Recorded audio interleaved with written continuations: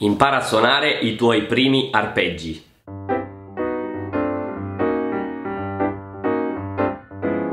Ciao, sono Fernando, sono un cornista e ti do il benvenuto all'undicesima lezione del quadricorno. La prima cosa da fare però è iscriverti al canale cliccando il bottone in basso per vedere ogni primo e 15 del mese i nuovi video che condivido.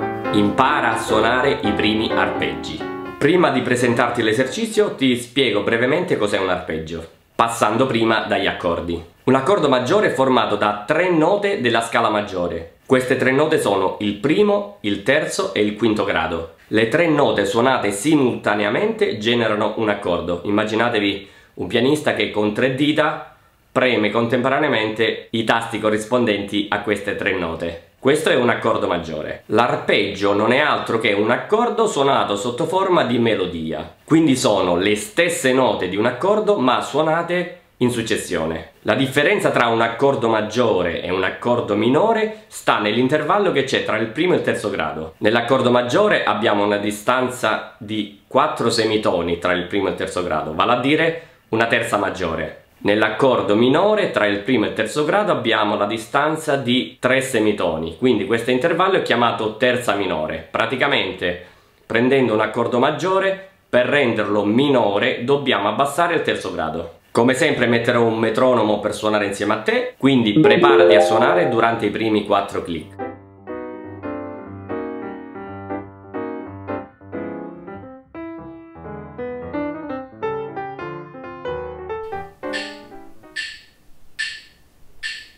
Uhum.